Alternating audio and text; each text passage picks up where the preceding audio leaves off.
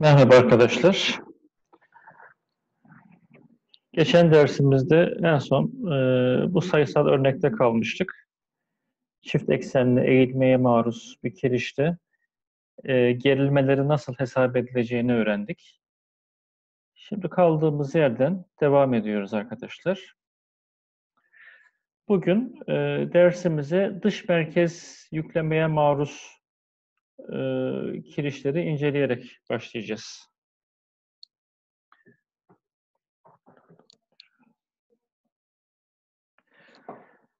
Evet arkadaşlar, şimdi şekilde görüldüğü gibi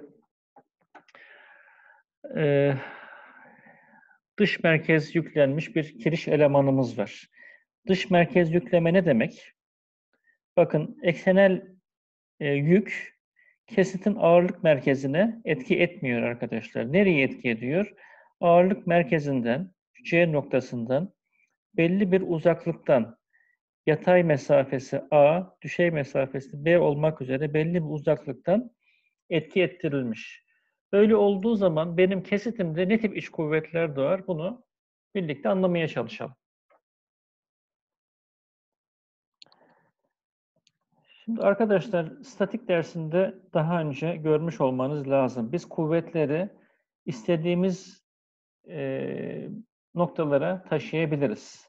Ama e, taşıdığımız e, noktaya etki eden momentleri e, o noktaya tesir ettirmeyi unutmayacağız. Ne demek istiyorum? Şimdi bakalım. Bakın önce P e, kuvvetini şu y ekseni üzerine taşıyalım. Y ekseni üzerine taşıyalım. Biz e, P'yi y ekseni üzerine taşıdığımızda arkadaşlar e, P'nin buraya geldiğini düşünelim. Ama başlangıç durumuyla aynı olması için P çarpı A kadarlık bir e, momente de y eksenine etki ettirmem gerekecek. P'yi y eksenine taşırım. Fakat daha önce P, y eksenine göre P çarpı A kadarlık bir e, moment etki ettiriyordu. Bunu da üzerine moment olarak etki ettiririm. Buna da ben my derim arkadaşlar. Ne yapmış oldum? P'yi y eksenine taşıdım. Peki bu y eksenine taşıdığım P'yi şimdi bir de z eksenine taşıyacak olursam arkadaşlar. O zaman e, aşağıda e, z ekseninden b mesafesinde aşağıda olan e, p kuvvetini e, c'ye taşıyacağım, z eksenine taşıyacağım ama p'yi taşıdıktan sonra daha önce bu p burada z eksenine b çarpı p kadar bir mz momenti etki e, et, ettiriyordu. Onu da üzerine yansıtmayı unutmayacağım. Evet, ne demek istiyorum? Şimdi tekrar ifade edelim. Şurada önce arkadaşlar bakın şu P'yi, P kuvvetini bakın şuraya taşıdık. Bakın şöyle P kuvvetini buraya taşıdık. Bakın ben P'yi buraya taşırım. Buraya taşırım. Ama e, P çarpı A kadarlık bir momenti de Y eksenine e, etki ettirmem lazım. Bakın şu MY o şekilde ortaya çıktı. Daha sonra ben bu P'yi Z eksenine taşıyacağım. Burada amaç P e, vektörünün C ağırlık merkezine taşımak. Kademe kademe taşıyorum. Önce Y eksenine taşıdım. Sonra Z eksenine taşıyacağım. Şimdi bu e, onu da şöyle yeşille gösterelim. Bu mavi olan P vektörünü şimdi kırmızıdan yana aldık. Y eksenine. Oradan Z eksenine taşıdığımı kabul edelim. Tamam ben bu maviyi e, kaydırıp yeni konumuna getirebilirim C eksenine ama bu mavideyken e, P çarpı B kadarlık bir e, M, MZ momenti vardı bakın. Onu da e, buraya moment olarak etki ettirmeyi unutmuyorum. Dolayısıyla arkadaşlar şu hale geldi. Ben P'yi ağırlık merkezine taşıdığım zaman e, bakın P ağırlık merkezinde MY ve MZ momentleri e, meydana gelmiş oldu. Aslında şu ilk yükleme ile ikinci yükleme bakın ilk resimle ikinci resim birbirine özdeş, tamamen aynı.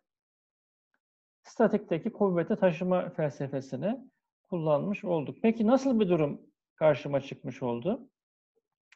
Benim kesetim arkadaşlar hem eksenel kuvvete hem de iki eksen etrafında eğilmeye maruz kalmış oldu. Şimdi e, böyle bir problemin e, nasıl e, incelendiğini birlikte göreceğiz. Eşit ve zıt egzantrik e, kuvvetlere maruz kalan düz bir eleman düşünün denmiş. Bakın eşit ve zıt yani P ve P üssü birbirine eşit ve egzantrik. Ne demek egzantrik arkadaşlar? Ağırlık merkezinden etki etmiyor. Başka bir noktadan kesede etki ediyor. Evet, egzantrik kuvvet bir merkez kuvveti ve iki momentten oluşan bir e, sisteme eşdeğerdir. Gördüğünüz gibi şu ilk durumdaki e, halle ikinci son durum birbirine özdeş. Ama ne yaptık? Kuvveti merkez olarak e, momentler cinsinden ifade ettik egzantrik yükü. Süperpozisyon ilkesine göre birleşik e, gerilme dağılımı arkadaşlar e, nasıl olur? Şuraya da gerilim diye yanlış yazılmış. Gerilme diyelim. Evet. Bakın P bölü A kadar tüm kesitte sabit bir eksenel çekme gerilmesi meydana geliyor. Çekme yönü bakın P bu yönde pozitif hatırlarsanız. Sıkıştırdığı zaman negatif alıyorduk. Ee, ondan sonra arkadaşlar şimdi şu artı ve eksilere takılmayın. Daha önce bunu izah etmiştim. Nasıl e, hesaplandığını tekrar bir sayısal örnekte bugün göreceğiz. E, Z ekseni sebebiyle meydana gelen gerilmeyi mz çarpı y bölü iz ile y ekseni etrafında meydana gelen gerilmeyi de my çarpı z bölü iy ile dikkate alacağım. Tarafsız ekseni bulmak için arkadaşlar ne yapmam lazım? Tarafsız eksende hatırlarsanız gerilme sıfır eşittir. Sigmayı sıfır alırsam tarafsız eksen denklemini aşağıdaki gibi elde ederim. Tarafsız eksende gerilme sıfır eşittir. Bu sebeple yukarıdaki ifadeyi tarafsız ekseni belirlemek için sıfıra eşitleriz denmiş arkadaşlar.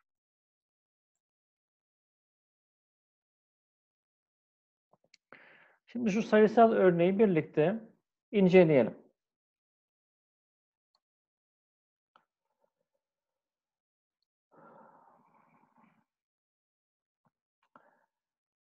Şimdi 80 çarpı 120 milimetrelik bakın kesete sahip bir ahşap blok. Kesitli ahşap bir direği. Şekilde gösterildiği gibi dikey bir 4.80 kilonewtonluk bir yük uygulanmaktadır.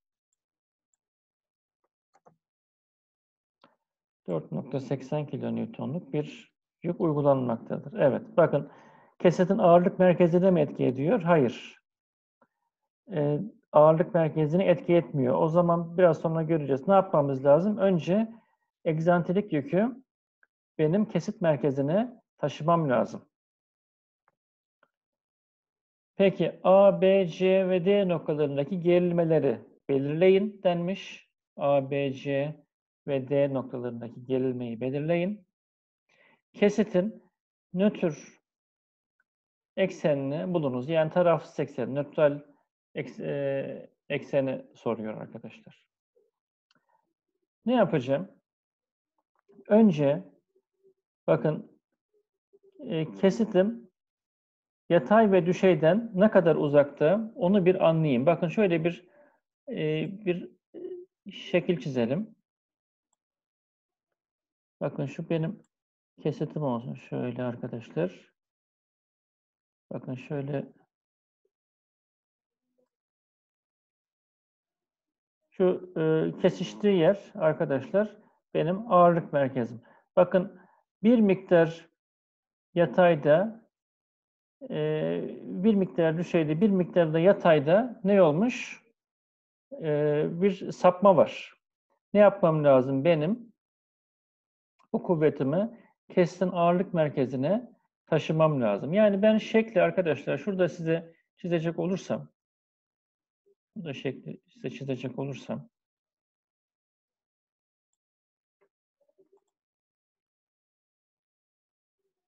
Burası da kestimin yaklaşık olarak merkezi olsun. Ufak tefek hatalarım olabilir. Benim e, kuvvetim arkadaşlar şurada bir yerde etki ediyor. Bakın şu mesafe, şu düşey mesafe 35'miş. Zaten yan kenarda olduğu için merkez olan yatay mesafede 80'in yarısı 40 olacaktır arkadaşlar. Şu düşey mesafede eksenden kırmızı noktanın uzaklığı e, yarı yükseklik 60. 60'tan da şu 35'e çıkarttığımız zaman e, geriye arkadaşlar 25 kalacaktır. 25 de şuranın uzaklığı.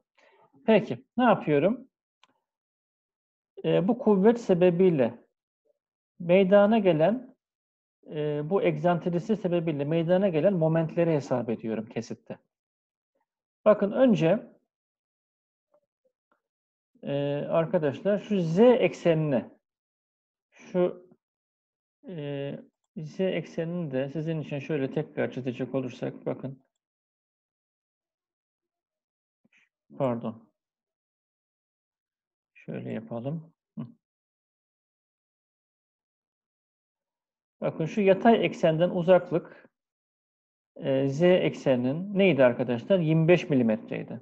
4.80 çarpı 25'lik bir e, momenti ben e, dikkate alırsam bakın o da 120 Newton metre yapıyormuş arkadaşlar.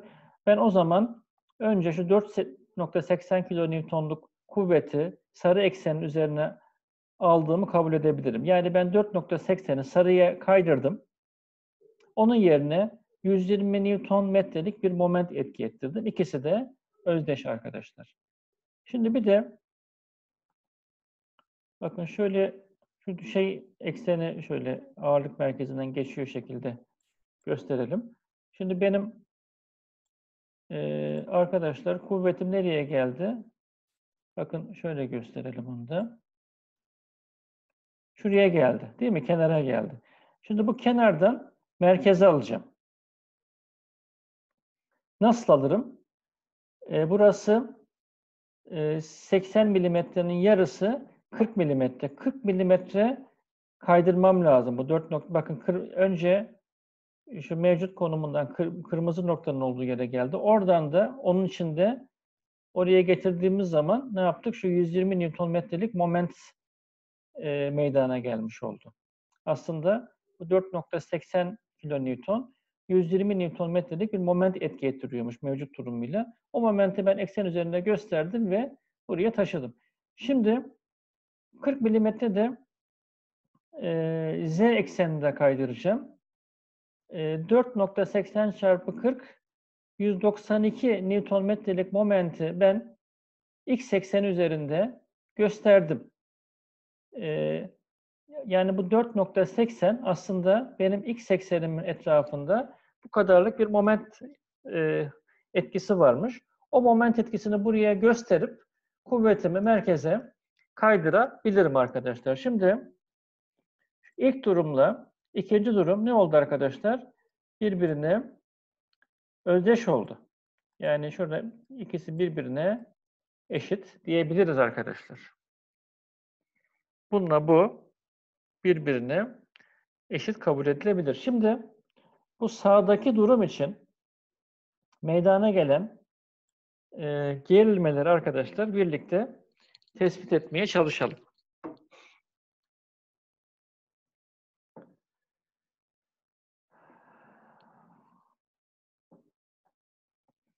Önce arkadaşlar kesit özelliklerini belirledik. Kesit alanımız 120 ile 80'in çarpımı. Bunların hepsini metre cinsinden bulmuşlar. Ix, x ekseni etrafındaki atalet momentiydi. Ağırlık merkezinden geçen atalet momentini buluyorum. 1 bölü 12 BH küp. Z ekseni etrafındaki atalet moment de yine 1 bölü 12 e, HB küple arkadaşlar bulunabilir. Peki. Şimdi e, en genel haliyle arkadaşlar formülümüz neydi? P bölü A. Bakın en genel haliyle arkadaşlar formülümüz şuydu.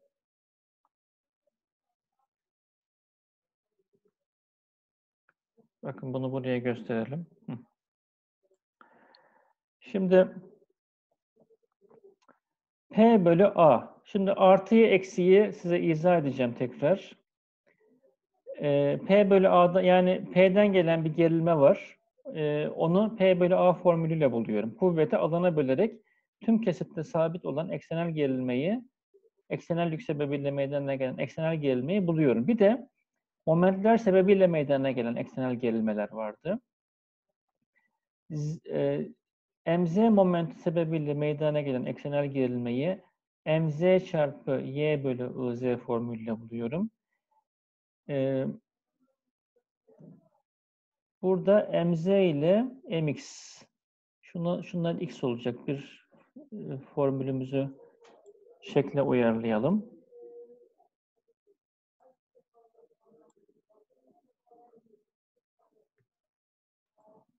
Evet. Diğer mx formülü sebebi e, mx momenti sebebiyle meydana gelen eksenel geriliminin formülü de mx bölü ix çarpı z ile bulunur. Şimdi şu artı eksiği birlikte anlamaya çalışalım. Biz bakın burada A, D, B ve C noktaları var. Bu noktalarda, bu köşe noktalarda meydana gelen gerilmeleri bulalım. Niye köşe noktaları inceliyoruz? Çünkü maksimum gerilmeler hatırlarsanız en dış kenarlarda meydana geliyordu. Bakın daha önce e, şu şekilden de hatırlayacaksınızdır. Bakın en dış kenarlarda maksimum gerilme veya düzlemsel olarak göstermemiz gerekirse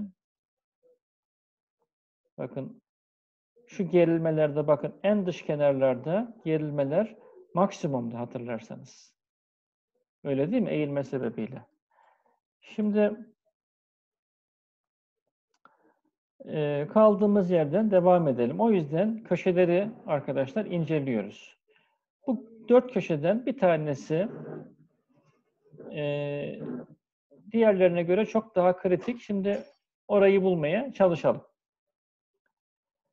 P bölü A arkadaşlar bakın şimdi A, B, C ve D noktaları için meydana gelen gerilmeleri bulacağız. Önce P bölü A'dan başlayalım. Bakın dört nokta içinde P bölü A değeri e, aynı arkadaşlar. Bakın burada e, basınç gerilmesi var. E, P 4.80. A'yı da biliyorum. E, az önce bulmuştum. E, A kesit alanıydı metrekare cinsinden. Birbirini oranladığımız zaman 0.5 megapascal olarak buluruz. Peki bunun işareti arkadaşlar? 4 nokta içinde eksi, negatif. Çünkü basınç kuvveti. Her yerde basınç kuvveti e, negatif gerilme meydana getiriyor. Dolayısıyla bakın A'da, B'de, C'de ve D'de eksi 0.5 megapaskal'ı yazıyoruz. Yani biz ne yaptık? Eksi P bölü A olarak e, hepsini de yazdık arkadaşlar. Peki. Şimdi e, momente geçelim.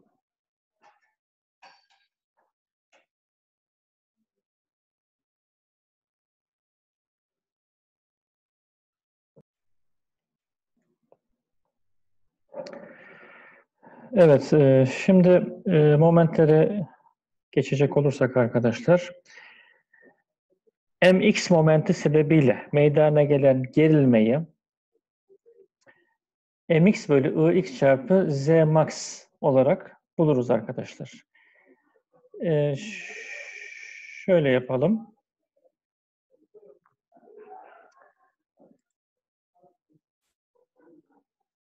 Şunu biraz büyütelim arkadaşlar.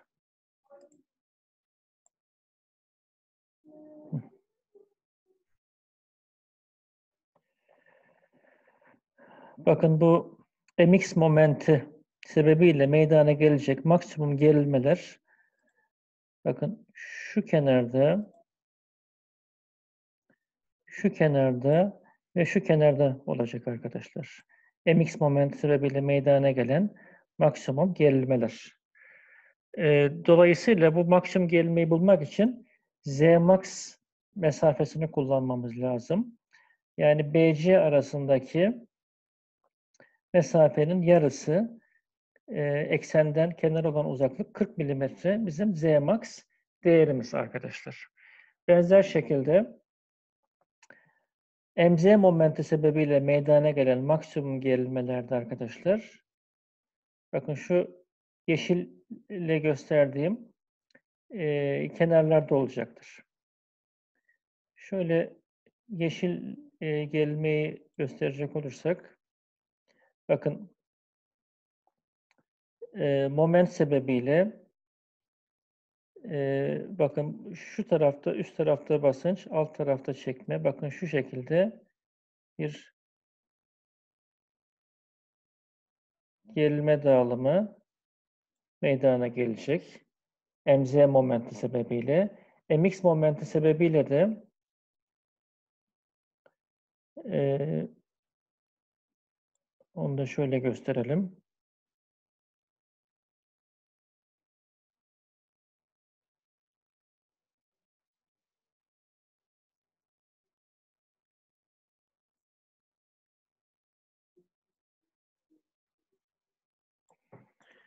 Bu şekilde bir gerilme meydana gelecek arkadaşlar. Umarım gözünüzde canlanıyordur. Evet, şimdi e, şu şekilde tekrar geçecek olursak bakın burada MZ momenti sebebiyle arkadaşlar şu şekilde basınç gerilmesi pardon bunu yine yeşille gösterelim. Burada arkadaşlar basınç gerilmeleri meydana gelecek. Buralarda çekme gerilmeleri meydana gelecek. Şöyle okunu yönünü gösterelim. Burada da çekme gerilmeleri. Benzer şekilde mx momenti sebebiyle arkadaşlar bu tarafta basınç gerilmeleri meydana gelecek. Diğer tarafta çekme gerilmeleri meydana gelecek. Şimdi e, bakın o zaman A noktasına bakalım. A noktası şu köşe. Burada zaten e, eksenel kuvvet sebebiyle meydana gelen gerilme negatifti. MZ sebebiyle meydana gelen gerilme de bu tarafta arkadaşlar e, A'nın bulunduğu AD parçası üzerinde ne olacak arkadaşlar? Negatif olacak. Bakın e, çünkü bu moment sebebiyle e, kesitin e, üst tarafı da e, negatif gerilme, sağ tarafında pozitif gerilme meydana gelecek. Çekme gerilmesi. E, moment sebebiyle kesitin üst tarafında basınç, alt tarafında bu tarafta çekme gerilmesi meydana gelecek. Peki. Şimdi o zaman mx momentinin gerilmesini yine eksi olarak bulduk. Sigma 1. Şimdi mz'nin moment A noktası için bakın şu A noktası için şeye bakalım. mz'nin meydana getirdiği momentin cinsine bakalım. Bakın A noktasında şu kesidi ortadan ikiye böldüğümüzde sol taraf yani şu tarafta gerilme arkadaşlar negatif, sağ tarafta pozitif. Yani sol tarafta e, kesidin sol tarafında e, bakın negatif gerilme meydana geliyordu. O zaman AB kenarı boyunca e, mx momentinin meydana getirdiği e, mx momentinin meydana getirdiği gerilme bakın negatif olacaktır. Dolayısıyla üçü de negatif. Ee, herhalde anlaşılmıştır yapmaya çalıştığımız e, hesaplama tarzı. Bakın tekrar izah edin. Başka bir nokta üzerinde tekrar konuşalım. Şimdi şöyle yapalım.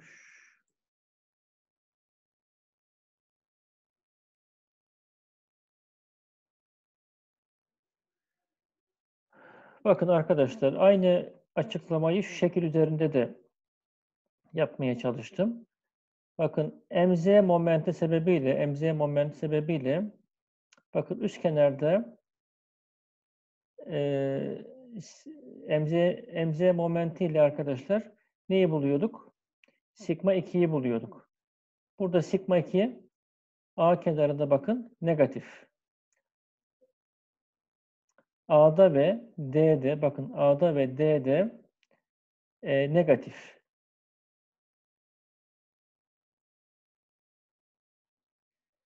Şimdi A ve e, A ve B'ye bakalım.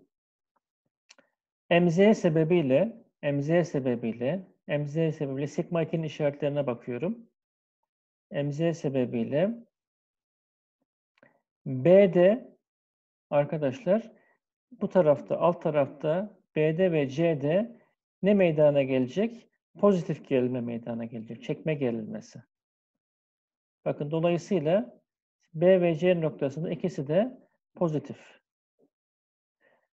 Ee, burada arkadaşlar sağ el kuralını kullanıyorsunuz. Bakın e,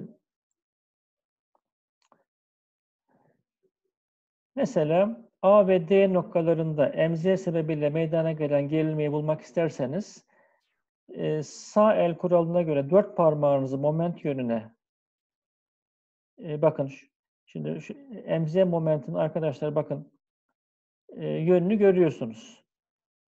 Baş parmağınızı Z eksenine yatırdığınız zaman dört parmağınızın bakın ucu yük kestin üst kısmına basınç uyguluyor. Alt kısmına arkadaşlar çekme uyguluyor. Dolayısıyla Z momenti sebebiyle A ve D'de değerler negatif, B ve C'de pozitif çıkması lazım. Benzer şekilde X ekseni üzerine e, parmağınızı bakın şu şekilde gördüğünüz gibi aşağı doğru sağ el parmağını yatırdığınız zaman dört parmağınız kesitin sol tarafına basınç, sağ tarafına çekme uyguluyor. Dolayısıyla A ve B'de mx sebebiyle gerilmeler negatifken C ve D noktalarında mx sebebiyle e, gerilmeler yani sigma 1 değerleri pozitif çıkacaktır. Bu şekilde arkadaşlar A, B, C ve D noktalarındaki eksenel yük ve momentler sebebiyle meydana gelen eksenel gerilmeleri bu e, işaretleri dikkate alarak topluyoruz. Zaten matematiksel değerleri belli ve ABCD noktalarında meydana gelen gerilmeleri tespit ediyoruz arkadaşlar. Şimdi tarafsız eksenin nasıl bulunduğundan bahsedelim. Bunun da mantığı e, son derece kolay. Daha önce e, önceki sayısal örnekte de anlatmaya çalışmıştım. Bakın biz dört nokta için Meydana gelen eksenel gerilmeleri biliyoruz. Bakın sigma A eksi 2.625, sigma B eksi 1.375. Sigma B ve sigma C'deki gerilmeler de belli. Bunu arkadaşlar bakın şu üç boyutlu görselde daha güzel gözlemliyorsunuz. Bunu bakın işlediğimiz zaman bir tarafsız eksen meydana gelmesi gerektiğini anlıyorsunuz arkadaşlar. Bakın anlaşılıyor tarafsız eksen. Şimdi peki bu taraf eksenin e, nasıl bulabilirsiniz? Bakın oran orantıyla bulabilirsiniz. E, şimdi A, B, C ve D noktaları. Bakın mesela e, şu BC kenarını dikkate alalım. Bakın BC kenarını bakın arada G noktası e, sıfır noktası olmak üzere şöyle çizdiğinizde bakın eksi 1.375'i biliyorsunuz. Aradaki mesafeyi BC uzunluğunu biliyorsunuz. C noktasındaki gerilme de 1.625. Burada oran orantı da nerenin sıfır olması gerektiğini, G noktasının konumunu bulabilirsiniz arkadaşlar.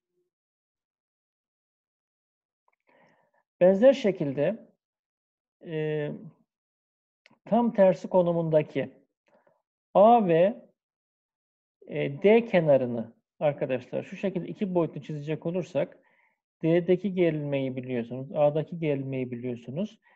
E, gerilmenin sıfır olduğu H noktasını da kolaylıkla oran orantıdan bulabilirsiniz. Bakın bu kesite biz tepeden baktığımız zaman şu görüntü karşınıza çıkacaktır. Burada H ve G noktaları arkadaşlar gerilmenin sıfır olduğu noktalar. Bu iki noktayı birleştirdiğimiz zaman biz tarafsız eksenin e, nerede olduğunu tespit ederiz arkadaşlar. Tarafsız eksenin yönünü, konumunu tespit etmiş oluruz. Tamamen oran orantıyı kullanıyoruz. Evet arkadaşlar, bu sayısal örnekle eğilme konusunun sonuna geldik. Bu ders kapsamında, bu slaytta eğilme sebebiyle meydana gelen eksenel gerilmeleri birlikte inceledik. En sonunda eksenel kuvvetle birlikte eğilmenin birlikte etkilmesi durumlarını e, sayısal örnekler üzerinden inceledik arkadaşlar. Bunlarla alakalı e, bol miktarda soru çözelim. Burada püf noktası e, iç kuvvetlerin e, pozitif veya negatif e, olmasının tespiti. Zaten P bölü A eğer basınçsa buradaki gibi her zaman eksi tüm noktalarda. E, incelediğimiz konumada, konuma göre de sağ el kuralına göre e, ne yapıyorduk arkadaşlar? Moment sebebiyle meydana gelen eksenel gerilmeleri, burada sigma 1 ve sigma 2 olarak gösterilmiş. Bunların işaretlerini arkadaşlar karar veriyoruz.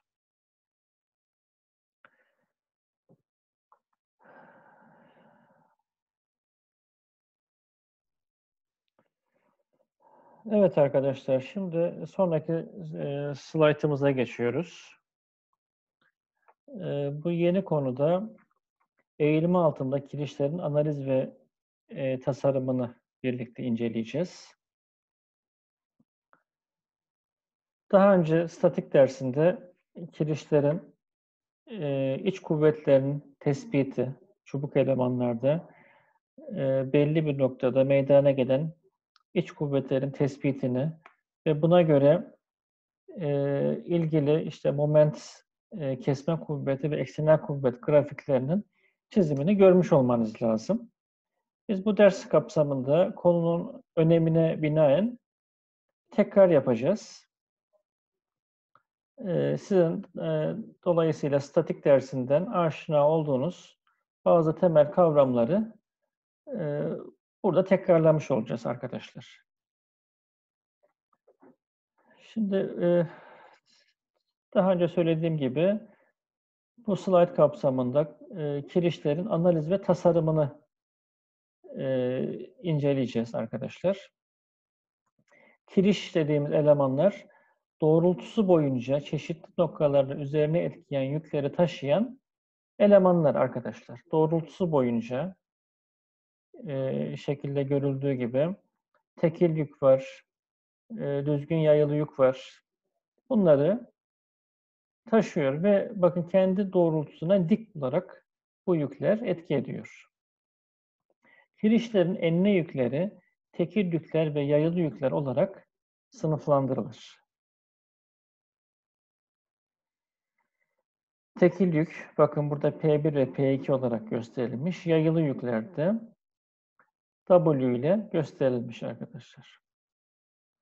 Yükleme sonucu eleman içinde kesme kuvvetlerinden dolayı kayma gerilmesi ve eğilmeden dolayı yani eğilme momentinden dolayı eksenel gerilme meydana gelir. Ee, normal gerilme arkadaşlar hangi formülle bulunuyordu?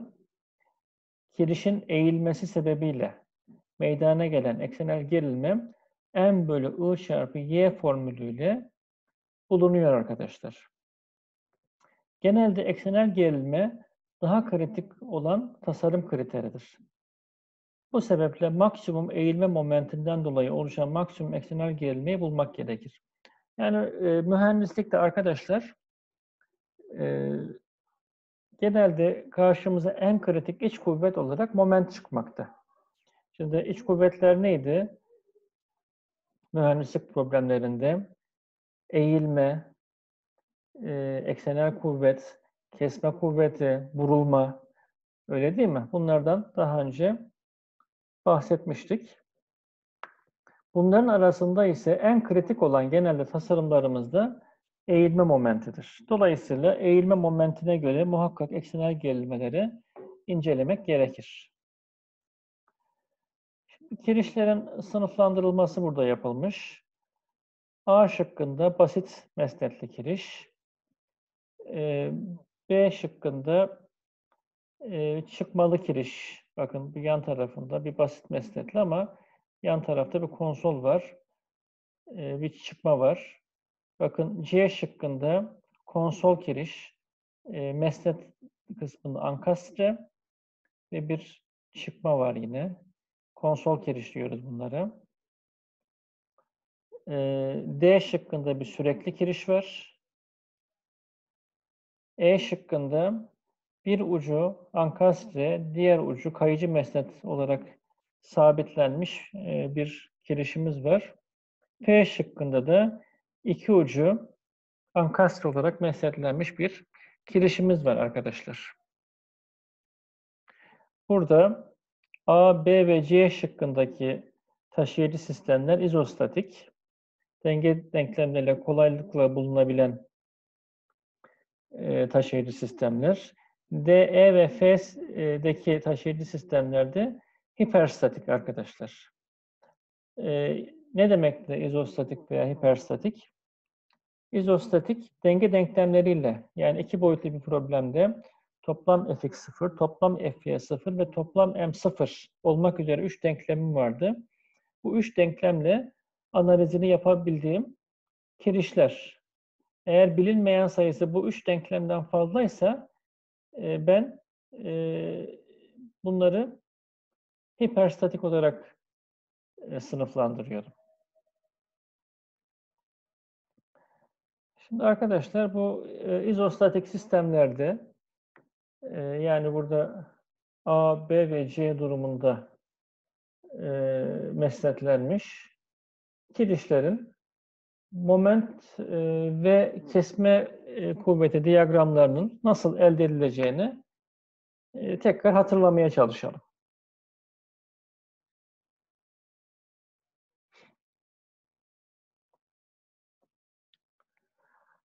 Bakın maksimum normal ve kayma gerilmelerinin belirlenmesi için maksimum iç kesme kuvveti ve eğilme momentinin bulunması gerekmektedir. Şimdi bizim amacımız ne arkadaşlar bir mühendislik probleminde? Yükler sebebiyle çubuğumuzun içinde meydana gelen eksenel gerilme kuvvetini, e, kesme veya vurulma sebebiyle meydana gelen kayma gerilmelerini bulmak. Dolayısıyla ne yapıyorum? E, bu e, moment ve kesme grafiklerini çizerek maksimum eksenel geriliminin veya maksimum kayma gerilmesinin nerede e, olduğunu bulmaya çalışıyorum.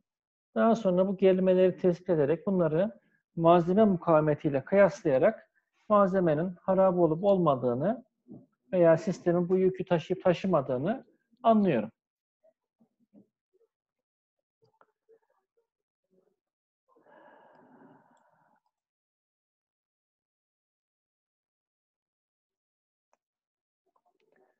Evet, şimdi şekli biraz daha büyütelim. Evet, bir noktadaki kesme kuvveti ve eğilme momentinin tespiti için kiriş o noktada kesilir. Mesela arkadaşlar ben C noktasındaki iç kuvvetleri bulmak istiyorum. Ne yapacağım o zaman?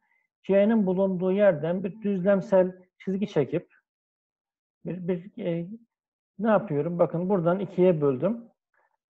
E, iki parçaya ayrıldı. Bir bakın soldaki parça, AC parçası, bir de sağdaki parça, CB parçası. Bu ikisinin ayrı ayrı iki taraftan da ben sonuca ulaşabilirim. Ee, her birinin dengesine bakarak toplam fx0, toplam fy0, toplam m0 oradan e, o noktadaki moment ve kesme değerlerini arkadaşlar bulabilirim.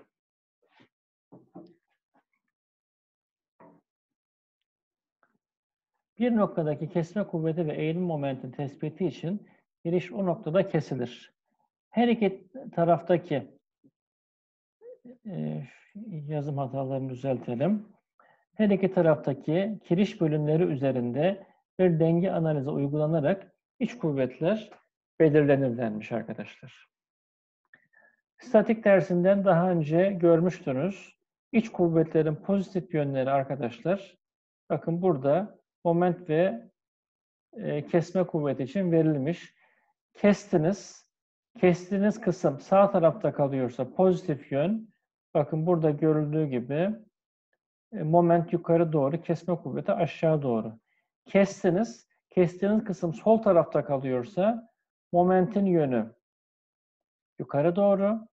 Daha doğrusu yukarı doğru derken saat yönü kesme kuvveti de yukarı doğru arkadaşlar.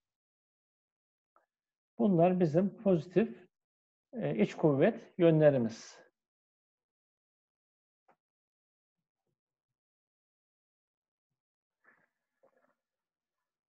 Evet, şimdi şu sayısal örneği birlikte inceleyerek e, statik dersinden gördüğümüz bu konuyu hatırlamaya çalışalım arkadaşlar.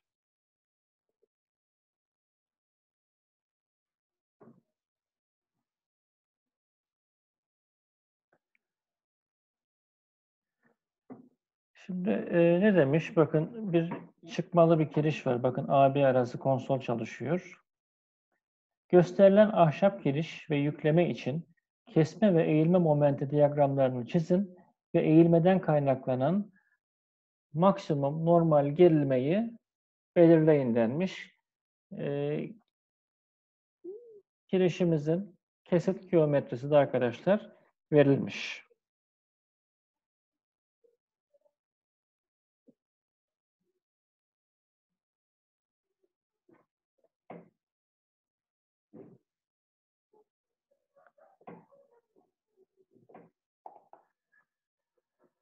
Evet, arkadaşlar ne yapıyoruz? Çözüm adımlarına birlikte bakalım. Tüm kiriş için rigid gövde kabulü yapmak ve reaksiyon kuvvetlerini belirlemek. Statik dersinden buna aşinasınız. Burada sistemin dengesini inceliyoruz. İşte sabit mesnet için reaksiyon kuvvetleri, e, hareketli mesnet için işte düşey reaksiyon kuvveti gösterilir. Ondan sonra toplam Fx0, toplam Fy0, toplam M0'dan reaksiyon kuvvetlerini buluruz. Kirişi desteklerin ve yük uygulama noktalarının yakındaki noktalarda bölümlere ayırın. İç kesme kuvvetlerini ve momentleri belirlemek için ortaya çıkan serbest cisimler üzerine denge e, analizleri uygulayın. Az önce söylediğimiz gibi nereyi incelemek istiyorsanız oradan bölüp e, elde ettiğim sağdaki veya soldaki parçanın denge dengesini inceleyeceğim. Dağılımlarının grafiklerden maksimum kesme ve eğilme momentlerini belirleyin. Bir grafiklerini çizeceğiz arkadaşlar. Ve bu grafiklerdeki maksimum değerleri e, belirlememiz lazım. Karşılık gelen maksimum normal gerilmeyi belirlemek için elastik eğilme formüllerini uygulayın denmiş.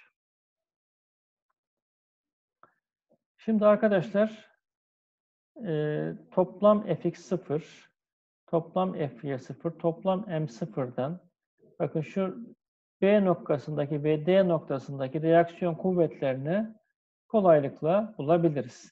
Sisteme zaten herhangi bir yatay yük etki etmediği için Bx 0 olacaktır. Burada By ile Dy var. E ne, ne deriz arkadaşlar? By artı Dy eşittir 20 artı 40 o da eşittir 60 deriz. Bir denklem yazarız. Daha sonra ister B'den ister D'den moment alırız. Oradaki denge denkleminden ikinci denklemi elde ederim. İki bilinmeyen var. BY ve DY. İki tane denklemim oldu. İki bilinmeyenli iki denklemden çözdüğüm zaman RB'yi 46, RD'yi de 14 kilonewton olarak bulurum arkadaşlar.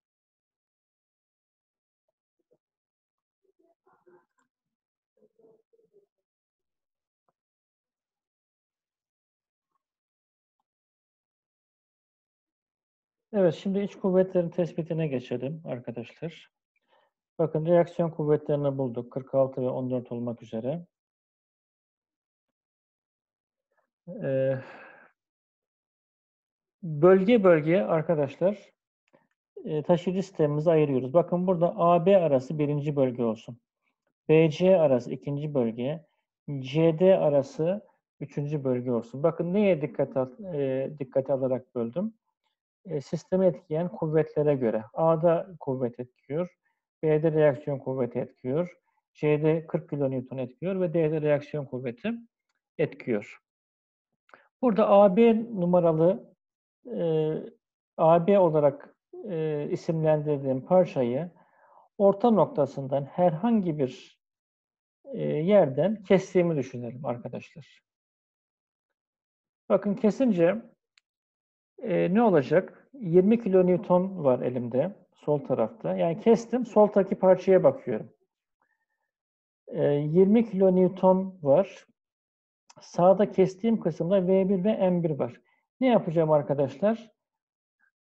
E, denge denklemlerini kullanacağım. Bakın önce V1'i elde etmeye çalışalım. 20 artı V1 eşittir sıfırdan V1 eksi 20 olarak arkadaşlar bulunur. Peki, şimdi sıra M1'de arkadaşlar. M1'i nasıl e, tespit ederiz? Onu da şöyle size şekil çizerek üzerinde göstermeye çalışayım.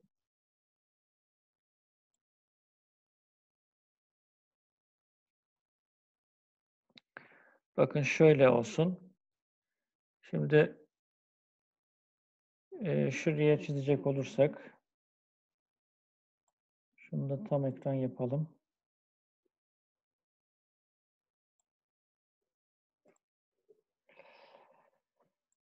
Evet bakın şöyle parça var. Şuradan 20 kilonewton etkiyor arkadaşlar. Ve biraz önce bulmuştuk. Şurada da M1 var. M1'i de size şöyle bu şekilde momenti de göstermeye çalışalım. Şimdi şu mesafede arkadaşlar şu mesafede x mesafesi. Bakın şu mesafe x mesafesi. O zaman bakın şu kırmızının değeri 20. M1 e, burada yeşille gösterdiğim. Yani şu noktaya göre bakın şu noktaya göre moment alıyorum. Kırmızıyla gösterdiğim. Hemen V1 ile M1'in bulunduğu yer dibinden. M1 artı e, 20 çarpı x eşittir 0 olarak ne yapabiliriz arkadaşlar? Denklemi yazabiliriz. M1 artı 20 çarpı x eşittir 0. Dolayısıyla m1 eşittir. Ne olur arkadaşlar? Eksi 20x olur. Peki x yerine de 0 koyarsak, ben çünkü e, x mesafesinin 0 olması durumu için a'yı x yerine 2,5 koyduğumuz zaman da b'deki momenti arkadaşlar elde ederim. Bunları statik dersinden biliyor olmanız lazım. Dolayısıyla m1 artı 20x eşittir 0, m1 eşittir eksi 20x. x eşittir 0 için e, x eşittir 0 için A noktasında meydana gelen moment 0. X yerine B'deki momenti bulmak için de e, x yerine eksi 2,5 yazarız arkadaşlar. x yerine eksi 2,5 yazdığımız zaman da m2 değeri eksi 50 olur. m1 ve m2'yi bu şekilde A ve B noktası için bulmuş olduk arkadaşlar. Tekrar söylüyorum. Bakın AB arasında herhangi bir yerden kestik. V1 ve M1'i bulmak istiyorum. Ee, önce sistemin düşey dengesinden e, düşey dengesini incelerim. Bakın burada V1 de şurada şöyle olsun. Şurada benim V1'im olsun. V1 artı 20 kilonewton eşittir 0. V1 eşittir eksi 20. Bakın onu buldum. Daha sonra sıra momente geldi. Şu kırmızı noktada meydana gelen yeşille gösterdiğim momentin değerini bulmak istiyorum. Bir denklem elde edeceğim. Bakın kırmızıya göre moment aldım. M1 artı 20 çarpı x kuvvet çünkü x mesafede m1 artı 20x eşittir 0. m eşittir eksi 20 x çıkar. X yerine 0 koyduğum zaman a noktasındaki m1'i bulurum. x yerine e, iki buçuk koyduğumda eksi 50 olarak M2 noktasında, e, B noktasındaki momenti bulurum arkadaşlar.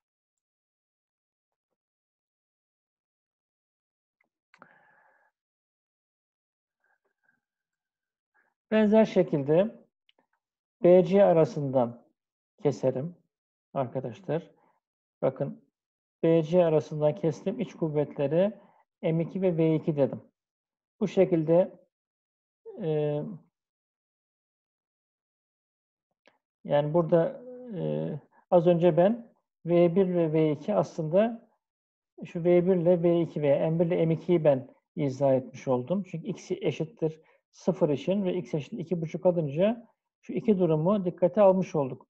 Şimdi B ile C arasındaki moment ve kesme grafiklerini çizmek istediğimde buranın denklemi için şu V3 M3 ve V4 ile M4'ü dikkate almam gerekecek arkadaşlar. V3 M3'ü bulmak için ne yaparım? Ee, BC arası herhangi bir yerden kestim. B'den x mesafede. O x mesafesi için iç kuvvetlerin dengesini arkadaşlar incelerim. Bu şekilde e, tüm iç kuvvetleri arkadaşlar bulabilirim. E, hepsini bakın burada yazdık. Sonra statik dersinden bildiğiniz gibi kesme kuvvetli e, kesme grafiğini ve moment grafiğini arkadaşlar çizerim. Bakın V1'i ne bulmuştum? Eksi 20. V2 neydi? Eksi 20. Bakın ilk bölgedeki 1 ve 2 için eksi 20'ye eksi 20. Eksi 20'yi yazdım. Sonra B ve C'deki iç kuvvetleri ne bulmuştuk? Ee, bakın B ve C 3'e bakalım. V3 M3. V3 artı 26 M3 eksi 50. Ee, bakın artı 26'ya eksi 50. Bakın bu noktaları da bulduk.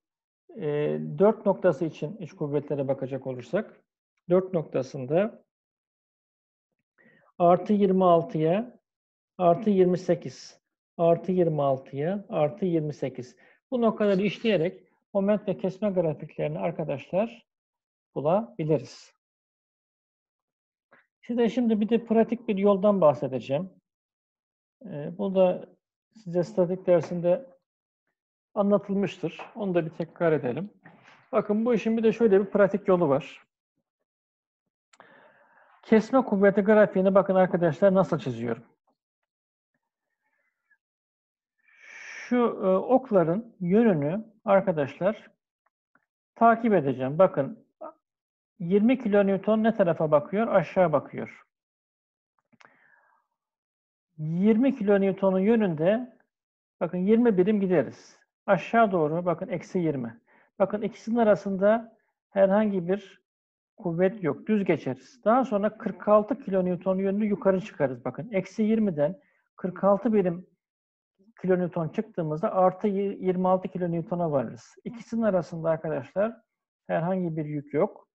Daha sonra buradan bulunduğum yerden şu an artı 26'dayım. 40 aşağı inerim. Bakın ok yönünde ilerliyorum. 40 aşağı indiğimde eksi 14'e varırım. C ile D arasında herhangi bir kuvvet yok. Ve eksi 14'teydim. E, bakın artı 14 yukarı çıkmam gerekiyor. Artı 14'e çıktığımda bakın sıfırda grafiğim kapandı. Bu şekilde arkadaşlar pratik olarak da kesme kuvveti grafiğimi çizebilirim. Moment grafiğimi nasıl çizerim? Ona da bakalım. Bakın burada e, uç noktada arkadaşlar bu konsolda burada uç noktada burada moment sıfırdır. Sıfırdan başlayacağım.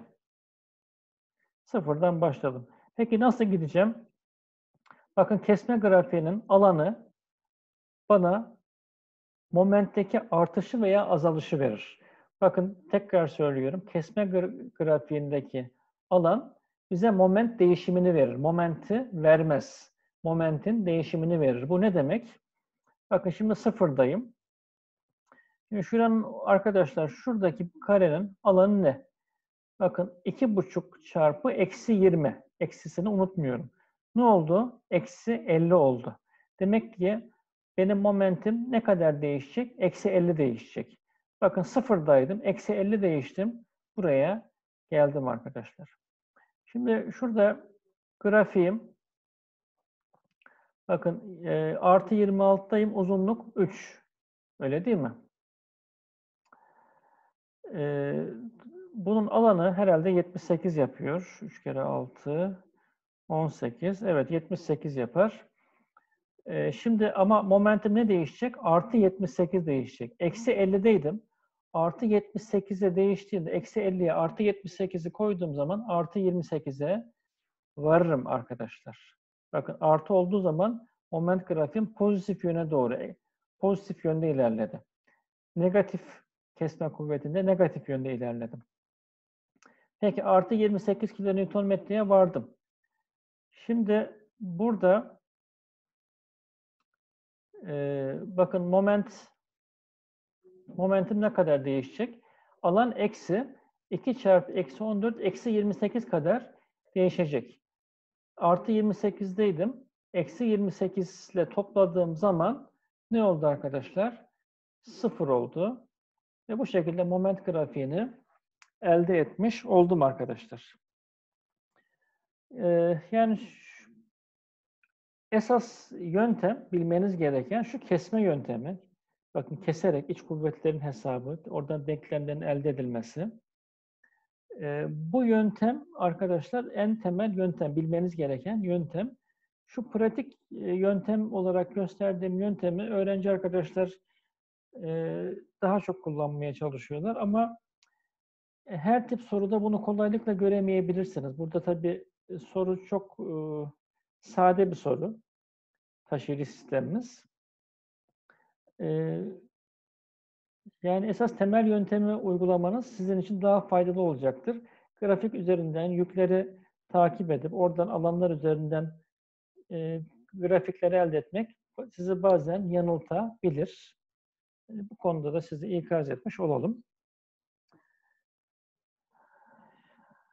Şimdi arkadaşlar bizim amacımız ne? Bakın biz bu grafikleri niye çiziyoruz? Ee, moment grafiklerini kullanarak malzemede meydana gelen maksimum eksenel gerilmeyi bulacağım. Kesme kuvvetinin e, grafiğini kullanarak da maksimum kayma gerilmesini ilerleyen derslerimizde bulacağız. Şimdi burada sadece şeyi sormuşlardı.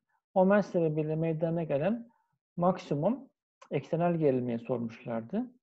Burada maksimum moment nerede arkadaşlar? Bakın eksi 50 kilonewton metre. Mutlak değerce düşünüyoruz. Eksi 50. Bakın burada. Bu bizim kritik değerimiz. Kesmede en kritik değer ne arkadaşlar? Bakıyoruz. E, mutlak değerce maksimum olan artı 26. Bu ikisi benim için kritik. Bakın bunları ben bir not alıyorum. Tasarımlarımda bunları kullanacağım. Şimdi burada ekstrem gerilme için arkadaşlar e, formülüm neydi? Sigma eşittir m bölü i çarpı y veya m bölü s'ti. S neydi? Kestin mukavemet momentiydi. Dikdörtgen bir kesitte bakın 80'e 250 verilmiş. Mukavemet momenti BH kare bölü 6 idi. Hatırlarsanız atalet momentinin 1 bölü 12 BH kübün h bölü 2'ye yani c'ye oranlıydı s. Buradan mukavemet momentini arkadaşlar bulduk. Maksimum moment de biliyorum. Maksimum momenti mukavemet momentine böldüğümde dikdörtgen kestimde meydana gelen maksimum eksenel gerilmeyi bulurum. E, bu değer benim için çok önemli. Malzeme mukavemetini de bil, e, öğrenirsem malzememin taşıyacağı gerilme ile bu etki eden gerilmeyi kıyaslayıp e, taşıyıcı sistemin emniyetli olup olmadığını karar veririm arkadaşlar.